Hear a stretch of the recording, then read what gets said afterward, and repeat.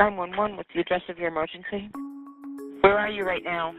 I don't know. What's the cross street to that? I can't really see it. Wait a minute, repeat the address, ma'am. This kind of scenario isn't unusual. Many 911 call centers struggle to accurately locate callers on their cell phones. Location, please. But about 80% of calls made to 911 are made on cell phones, according to a trade group. In 2018, regulators estimated that up to 10,000 lives could be saved annually if 911 got to callers just one minute faster. These problems locating 911 callers are so prevalent that in 2015, the FCC stepped in and ordered cell carriers to fix some of the biggest location issues over the next couple of years. Some of these plans have already started to roll out, but let's look at why this is technically much trickier than it might seem. First, let's look at a county that hasn't yet adopted any of these fixes. This is Todd County in Minnesota. They say they don't have enough resources for new technology for their call center, which is common in rural counties. Here, carriers triangulate data among cell towers and send that information to 911 call centers. This can cause problems in rural areas where towers are sparse. This county's 911 call center also relies on smartphone GPS chips, which use satellites and can take up to 30 seconds to establish position. Together, these technologies can establish where the caller is within a radius of about 120 meters. That's more than the length of a football field. Part of the problem is that both of these technologies work best when callers are using their cell phones from outdoor locations. The majority of cell phone calls are made indoors, where these devices are less effective because rooftops interfere with signal. They also don't address altitude, meaning which floor of a building a caller is calling from. This is a bigger problem in large cities. We know, uh, you know, longitude and latitude where that is, but we don't know the vertical height exactly within the building. Where are you? And that can take precious minutes, precious seconds where we want to come and save lives and render aid, and we're unable to because we don't have the exact location. So that's the problem. Now, let's look at one of the ways it's being fixed.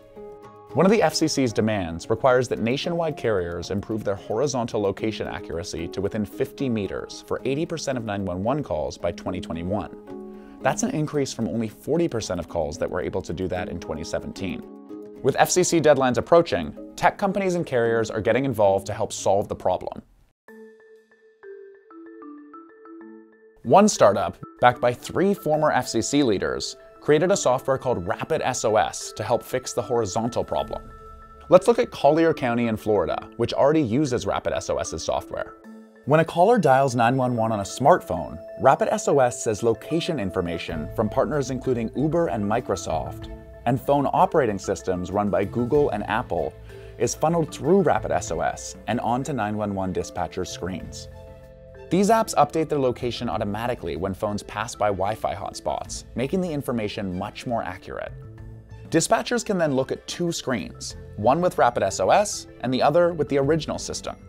So obviously Google, Apple, Uber, these other leading technology companies are really good at locating us. The challenge historically has been is getting that information into the hands of 911 and first responders. One test by Google found that Rapid SOS reduced the average radius in which a caller may be located to about 36 meters, about a third of a football field.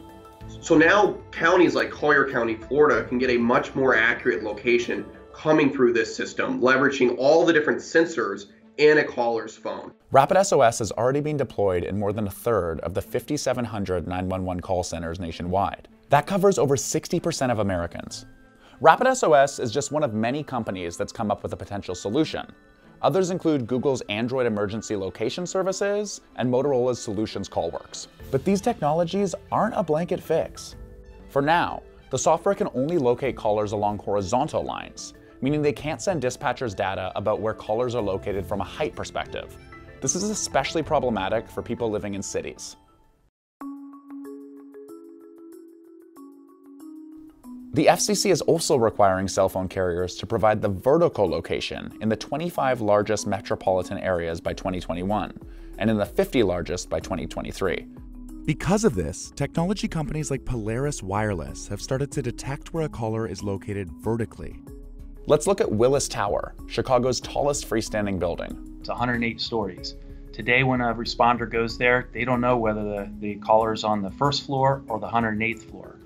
With our solution, we can say you're on the your altitude comes to the 76th floor, and first responders would know it's the 75th, 76th, or 77th. They don't have to climb 108 floors looking for the caller. Smartphones today uh, have a barometer inside. That sensor can help us determine the altitude of the device. And based on the altitude of that device, we can extrapolate how, how many floors you're above ground. While Polaris Wireless hasn't been deployed in any call centers yet, early tests have found that they can locate a caller within 2.8 meters 80% of the time. This would represent a big step forward for 911 accuracy. While companies race to solve this problem, how fast 911 can find you still depends a lot on where you live, which carrier you have, and what technology your local 911 center has embraced.